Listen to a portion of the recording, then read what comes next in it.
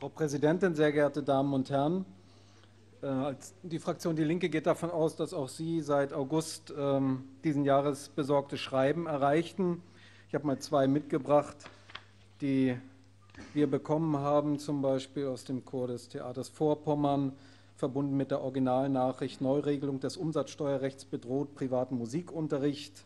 Und dann der Hinweis, äh, schicke ich zur Kenntnis, vielleicht könnt ihr da auch tätig werden. Damit wäre ein weiterer Kultur- und Bildungsabbau in Sicht. Wann kapiert die Regierung das endlich? Regierung in diesem Falle die Bundesregierung gemeint. Oder aus ähm, dem Mehrgenerationenhaus Bürgerhafen in Greifswald wenn ich hier zitiere, ab Januar 2013 ist eine schreckliche Mehrwertsteuererhöhung geplant, die demnächst beschlossen werden soll. Die Folge, Musikschulen, Tanzschulen, Ballettschulen und andere, zum Beispiel frühkindliche musikalische Erziehung in Kitas durch Musikpädagogen werden um 19 Prozent verteuert. Schon heute können es sich nicht alle Eltern leisten, ihren Kindern dies zukommen zu lassen. Was soll das erst werden, wenn die Preise jetzt noch einmal um 19 Prozent ansteigen? Drei Fragezeichen.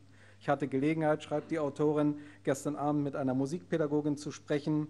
Dann wird einem das Ausmaß erst richtig bewusst. Der Bundesverband der Musikberufe, Deutscher Tonkünstlerverband und andere bemühen sich über den Petitionsausschuss des Bundestages Nummer 26229 die Gesetzesänderung zu verhindern. Bitte unterstützen Sie uns. Das läuft auf eine absolute Verstärkung der Spaltung nach Klassen hinaus, wer es sich leisten kann und wer nicht. Wir als Mehrgenerationenhaus sind gerade auch deshalb entstanden, um für eine niedrigschwellige Bildung einzutreten. Diese Gesetzesänderung ist völlig kontraproduktiv und schließt zukünftig große Teile der Bevölkerung von Teilhabe aus. Schon heute tragen zum Beispiel Bürgerstiftungen die Kosten für musische Bildung für Kinder, die es sich sonst nicht leisten können, eine Kunst- oder Musikschule zu besuchen.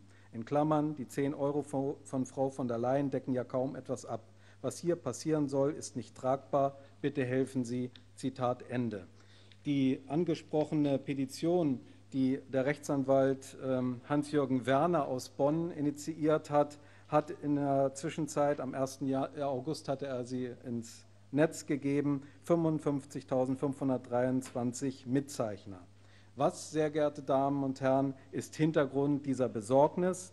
Die Bundesregierung plant mit dem Jahressteuergesetz 2013 auch eine Änderung am Umsatzsteuergesetz. Beabsichtigt ist demnach der Wegfall der Umsatzsteuerbefreiung für private Musik-, Ballett- und Tanzschulen. Und äh, falls es da zu Irritationen kommen sollte, wo sich das denn findet, im Gesetzentwurf auf Seite 33 ist zu lesen, ich zitiere, nicht befreit sind Leistungen, die der reinen Freizeitgestaltung dienen. Er bringt eine andere Einrichtung mit vergleichbarer Zielsetzung Leistungen im Sinne des Satzes 1, den ich jetzt hier nicht vorgelesen habe, die auch der Freizeitgestaltung dienen können, sind diese nur dann befreit, wenn die Einrichtung keine systematische Gewinnerzielung anstrebt und etwaige Gewinne, die trotzdem anfallen, nicht entnommen werden, zur Erhaltung oder Verbesserung der erbrachten Leistung verwendet werden. Eine Gewinnerzielungsabsicht ist aber Voraussetzung für das Bestehen privater Musikschulen, Ballett- und Tanzschulen. Andernfalls könnten die Finanzverwaltungen berechtigt Liebhaberei unterstellen.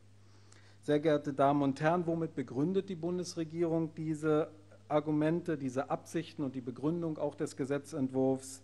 Erstens mit der Sicherung des Steueraufkommens und zweitens will sie unerwünschter Ausweitung der Umsatzsteuerbefreiung, wie sie schreibt, entgegenwirken. Im Klartext heißt das, die Staatskasse ist aufzufüllen, schließlich muss, möchte ich in Klammern setzen, die Neuverschuldung von 64 Milliarden Euro auf 18,8 Milliarden Euro zurückgeführt werden. Deshalb müssen diesmal künstlerisch ambitionierte Kinder und Jugendliche und deren Eltern ran. Welche Auswirkungen hat die Einführung der Umsatzsteuer für die betreffenden Kultureinrichtungen? Der Inhaber einer privaten Musikschule und privaten Musikerzieher, Andreas Berthau, beschreibt dies wie folgt. Ich zitiere. Die Marktsituation ermöglicht es nicht, die Umsatzsteuer auf die Eltern der in der Regel minderjährigen Schülerinnen und Schüler umzulegen. Würde der ohnehin gegenüber kommunalen Musikschulen benachteiligte Preis um weitere 19 Prozent belastet, würde dieses Bildungsangebot in weiten Teilen einfach wegbrechen. Die Mehrbelastung des Unterrichts der privaten Musikschulen wäre in jeder Hinsicht ein Fiasko, weil die so belasteten Bürgerinnen und Bürger bereits durch ihre Steuern den Unterricht an den öffentlichen Musikschulen mitfinanzieren. Es wäre darüber hinaus in familienpolitischer Sicht nicht akzeptabel, wieder die Eltern von Kindern zusätzlich zur Kasse zu bitten. Zitat Ende. Politisch bemerkenswert, meine Damen und Herren, ist, dass diejenigen, die sich aktuell für eine Umsatzsteuer für private Musik, Ballett und Tanzschulen aussprechen, an dieser Stelle, und da denke ich insbesondere an die Kolleginnen und Kollegen der Fraktion der CDU, an dieser Stelle gleich mehrere ihrer selbst erklärten Ziele über Bord werfen. Als da wären, ich zähle mal einige Ziele auf, kulturelle Teilhabe für alle ermöglichen, also Bildungs- und Teilhabepaket ist so ein Stichpunkt. Wenn die besagten Kultureinrichtungen die Umsatzsteuereinführung nicht kompensieren können, kommt es zur Erhöhung der Gebühren. Darunter leiden dann aber Familien mit kleinen Einkommen. In einem Land wie Mecklenburg-Vorpommern mit Einkommen, die 800 Euro unter dem Bundesdurchschnitt liegen, ist die Ausgrenzungsgefahr insofern besonders groß. Müssen die in Rede stehenden Bildungseinrichtungen gleich gänzlich schließen, gibt es insgesamt weniger Angebote kultureller Teilhabe und dies wiederum hat zur Folge oder hätte zur Folge, dass die kulturellen Bildungsgutscheine des Bildungs- und Teilhabepakets indirekt eine Entwertung erfahren. Zweites Prinzip, das über Bord geworfen wird, insbesondere von den Kolleginnen und Kollegen der CDU, zumindest auf Bundesebene. Schon jetzt wird die öffentliche, ist die kulturelle Bildung zu fördern, ist immer das erklärte Ziel. Schon jetzt wird die öffentliche Hand nicht mehr ihrem Auftrag gerecht, flächendeckend kulturelle Bildungsangebote zu unterbreiten. Auch deshalb gründeten und gründen sich, wie beispielsweise aktuell in Varin, private Unternehmungen dieser Art. Das Netz kultureller Bildung wird noch grobmaschiger, wenn aufgrund der Abschaffung der Mehrwertsteuerbefreiung private Musik-, Ballett- und Tanzschulen aufgegeben werden. Abgesehen davon wird auf diese Weise auch gegen geltendes internationales Recht verstoßen. Dem ist die Bundesrepublik verpflichtet, denn sie hat die UN-Kinderrechtskonvention ratifiziert. Dort heißt es in Artikel 31 Absatz 2, Zitat, die Vertragsstaaten achten und fördern das Recht des Kindes auf volle Beteiligung am kulturellen und künstlerischen Leben und fördern die Bereitstellung geeigneter und gleicher Möglichkeiten für kulturelle und künstlerische Betätigung. Zitat Ende.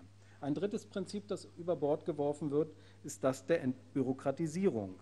Die mit dem Jahressteuergesetz 2013 geplante gesetzliche Vorschrift unterscheidet nämlich zwischen reinen Bildungsleistungen, die anbieterunabhängig immer steuerfrei sind und es auch bleiben, Leistungen der reinen Freizeitgestaltung, die zwingend steuerpflichtig sind, und Bildungsleistungen, die auch der Freizeitgestaltung dienen.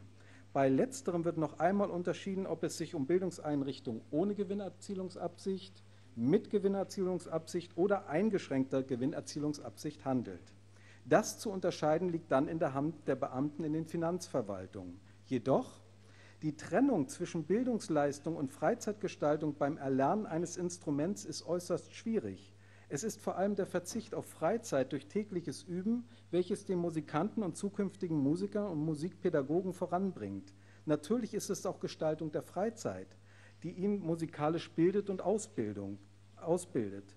Das eine liegt immer auch im anderen begründet. Kultur und Kunst, Musik und Tanz lassen sich also nicht in Töpfen organisieren, hier Bildung, da Freizeit.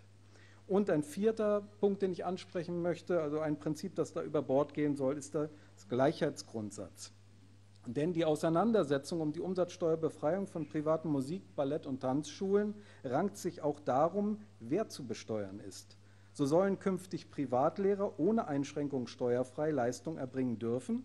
Hingegen sollen die gleichen Bildungsleistungen eben dieser Privatlehrer erbracht durch private Institute steuerpflichtig sein. Durch solche Maßgaben wird der Steuerdschungel noch undurchdringlicher und die Orientierungslosigkeit noch größer. Abgesehen davon wäre dies aus unserer Sicht ein Verstoß eben gegen diesen Gleichheitsgrundsatz. Sehr geehrte Damen und Herren, wir sehen uns dem gesellschaftlichen Ziel der Zugangsoffenheit zu kulturellen Angeboten verpflichtet. Und wir hoffen, nein, wir erwarten einfach, dass auch Sie sich diesem gesellschaftlichen Ziel verpflichtet sehen, vor allem im Interesse der Kinder und Jugendlichen. Also unterstützen Sie bitte unseren Antrag. Haben Sie Dank für die Aufmerksamkeit. Frau Präsidentin, sehr geehrte Damen und Herren, ich ähm, möchte mich namens der Linksfraktion für die Diskussionsbeiträge von Frau Ministerin und den Vertretern der demokratischen Parteien bedanken, insbesondere für die Unterstützung äh, seitens der Fraktion Bündnis 90 Die Grünen. Und äh, im Vorfeld haben wir natürlich überlegt, ähm, wo sind die Gegenargumente, wo, was spricht eigentlich gegen unseren Antrag und was könnte dem entgegengehalten werden. Und ähm, vermutet hatte ich schon, Herr Gundlach, äh, dass Sie ähm, darauf verweisen, dass äh, seitens der Bundestagsfraktion der SPD signalisiert wird, dass man sich einsetzen wird und dass es Ihnen ähm, an der Stelle schon ausreicht, diese Zusicherung zu haben aus einer Opposition des Bundestages heraus, dass ähm, es dann eine Veränderung geben wird. Denn es hat ja eine äh, Pressemitteilung des Bundestagsabgeordneten Herrn Hacker gegeben im August, die also sehr bemerkenswert ist, die in einem ersten Teil ähm, begrüßt, dass es eine Verlautbarung des ähm, Bundesfinanzministeriums gibt, dass man wohl noch was ändern müsste, dann erklärt, dass es aber ganz wichtig ist, dass der Finanzausschuss klare Positionierungen auf Bundesebene vornimmt, weil es ja so nicht bleiben könne, um im letzten Abschnitt der Presseerklärung mitzuteilen, dass äh, Herr Hacker sich freue, dass nunmehr der Protest äh, erfolgreich gewesen wäre. Bei all dem ist festzustellen, Herr Eifler, es hat sich noch nichts geändert. Der Gesetzentwurf ist, wie er ist und auch die Begründung ist, wie, wie sie ist. Insofern bin ich äh, der Frau Finanzministerin sehr dankbar, dass sie sehr differenziert beleuchtet hat, ähm, wo es Klärungsbedarf gibt und ähm, dass es notwendig ist, eine Klarstellung herbeizuführen. Und gleichzeitig haben Sie relativiert, auch ein paar Intentionen unserer ähm, Argumentation. Gleichwohl, ich habe fleißig mitgeschrieben, als Sie gesprochen haben, haben eben nochmal die Mischform, die wir ja auch äh, problematisieren. Also gerade die, wo Bildungsleistungen und Freizeitangebote ineinander fließend sind, dass das hochproblematisch ist, dass es notwendig ist, da etwas zu verändern. Und Sie sagten, also wir sind uns einig, es ist ein kleines Problem im, im großen Jahressteuergesetz 2013, aber ein großes Problem für die Betroffenen. Und Sie haben gesagt, es soll eine Veränderung geben für die Gesetzesbegründung. Und jetzt spanne ich mal den Bogen zu einem Antrag, den Sie gestern hier vorgestellt haben. Und zwar Mehrwert- oder Umsatzsteuer äh, bedroht die öffentlichen ähm, Umsatzsteuer der öffentlichen Hände bedroht die interkommunale Zusammenarbeit. Und Sie haben dann gesagt, dass es notwendig ist, eine moralische Unterstützung zu bekommen, um hier auch auf Bundesebene vorstellig zu werden. Und im Grunde genommen, wir wollen nichts anderes. Wir wollen nichts anderes. Wir sind uns in der Problembeschreibung einig. Herr Eifler sagt, das ist entbehrlich, kann man zurückziehen. Eben nicht, weil es ein großes Problem für die Menschen ist. Und die können schwerlich, die können schwerlich verstehen, wenn wir sagen, wir müssen noch in Gremien und so weiter. Sie möchten ein Signal. Sie haben sich doch an uns gewandt und Sie haben ein Anrecht darauf, von uns eine Antwort zu bekommen. Und wenn wir sagen, wir haben das aufgenommen und mit dem Rückenwind des Landtages bekommt die Finanzministerin nochmal moralische Unterstützung für das, was sie hier ausgeführt hat, dann ist das das, was die Menschen von uns erwarten können. Und dafür werbe ich nochmal, besinnen Sie sich, was Ihre bisherigen Einschätzungen betrifft, sage ich mal in Richtung CDU-Fraktion und SPD-Fraktion, geben wir der Finanzministerin und unserer Landesregierung die notwendige moralische Unterstützung und ziehen wir an einem Strang in eine Richtung für die Kinder und Jugendlichen. Schönen Dank. Música